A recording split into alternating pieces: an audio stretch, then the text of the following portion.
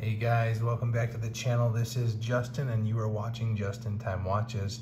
Today we've got a really cool review of a watch that I've had my eye on for a while.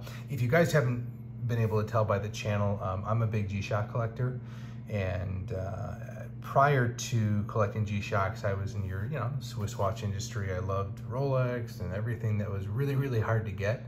Um, not just price point wise, but because of the steel craze that was going on and nobody could get a watch. Um, but I started collecting G-Shocks because they're just, they're so cool. There's such a large variety in terms of colorway, in terms of variety. Some are small, most are large.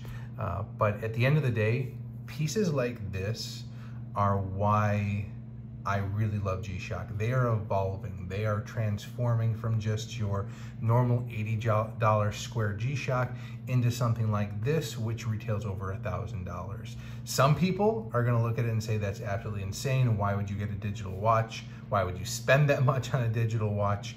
Um, and hopefully I can sway your perspective a little bit, but let's get into it. For today, a wrist shot check. I am wearing what I will end up reviewing later on, which is a Frogman. Um, just got it today actually and uh, absolutely love it. So this is an OG. This is a Frogman digital, not the uh, analog ones I have today. But for perspective of what we're looking at today, this is a titanium square G-Shock. Let's get into it. Let's take a look at the box first. Um, the box itself is super cool. Best way that I can describe it, it's very shimmery on the outside. Um, I, yeah, there you go. You see right here on the bottom, you can see that it starts to shimmer a little bit um, in the light. I actually do not have my studio light on. It is simply just the sun in the background. Um, and as you can see on the box, it says shock resistant structure protects the case and bezel from induced shock. So what's really sweet about this, this is the second version of this watch. Um, the first one was black titanium and it had little scriptures written throughout the watch to kind of talk about what each section is and does. Um, and I just thought that was super cool. So I decided I'd pick it up. All right, so I'm not gonna go through the boring stuff. Don't get me wrong, guys. The warranty card's awesome, but you guys are not here for that. You guys are here for this. Uh, so without further ado, you can see it also comes with a little bit of shimmer on the actual box itself. Uh, and on the outside, same exact saying, same exact uh, statement, honing in on the G-Shock. And there it is. This is your G-Shock Square Titanium. And let's go ahead and pull this out. Now this is obviously, you know, like I said, not for everybody. Some people are gonna look at this and say, oh, that's an awesome watch. What's the price point? They hear the price point, they're gone. Um, it's a little dirty. So this is not new, I have worn this. Um, so please forgive me if there's any smudges on it. Um, but it's, it's really cool. You do get your, um, it is not a mineral crystal on this. You actually get a sapphire crystal on this. Um, you've got your full titanium piece. It is literally 100% titanium. And the really sweet part, and I have a couple of the metal um, G's, the case back is also titanium. And it kind of tells you that made in Japan.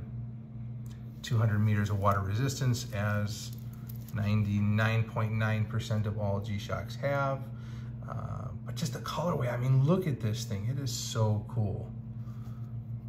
And each link, I'm gonna see if I can catch it for you.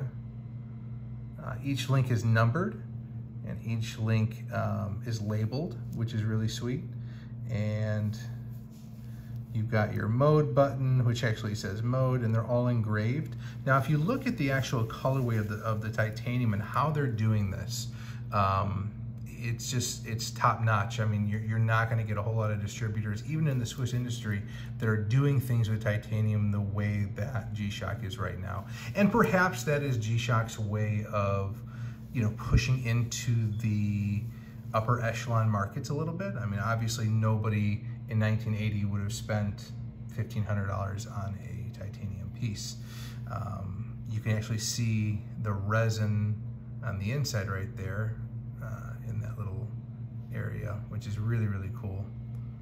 Tough solar, um, again, 200 meters water resistance. You've got your stopwatch, you've got your world timer, um, you've got your multi-band six. Please forgive me if I've already said that because I'm drooling over the watch, but this is actually my favorite part of the watch right here, where you start to see the difference in color, um, the diamond-like IP coating that they have on this. Like I said, it's just, it's phenomenal. It's unreal what they do. Um, and so let's get back to the conversation, right? Let's get back to the idea of, wait a minute, why would I spend that much on a G-Shock? Well, titanium doesn't come cheap. Does it have that much of a markup on it? Well, it each is in the eye of the beholder, right? Uh, some people would look at a steel Rolex and say, well, I'm just buying a $9,000 steel Rolex for the name of it and for the symbol. Uh, with this particular timepiece, for those fanboys that love G-Shock, that love what they represent, uh, the durability, you can wear this with a suit, in my opinion. You can wear this at a wedding. You can wear this to work. Um, and then somebody like me who if you guys look at a previous video, I did a video on a Longines um, chronograph. I actually traded that in for this uh, and one other watch. So I got two for the price of one and I will end up doing a review on the other piece as well. Um, it wasn't that I didn't like the Longines. It's just for someone like me who um, works in an industry, I work with um, students and the reality is, is that my hands get dirty, I bang my watches up against things and I simply just don't want to have to worry that when I wear something that's a beautiful timepiece, it's going to fracture or break and cost me almost as much as the watch itself. So if we look at the inside of the box, I did forget to show you guys that it is really, really cool. Um, it says here, shock resist, 20 bar water resist, tough solar, multi-band six. Oh, and the one piece I did forget, this is a smartphone link. It connects directly to your phone and uh, it's just an all-around great watch. Guys, if you like this video, if you want to see more videos, please like, subscribe to the channel if you have questions. Um, occasionally, I will review a watch that I am in the process of selling, um, so you are welcome to message me if you have any questions, thoughts, concerns. As always, I appreciate you taking the time out of your day to watch the videos. This is Justin with Just in Time Watches, and I will catch you guys on the flip side.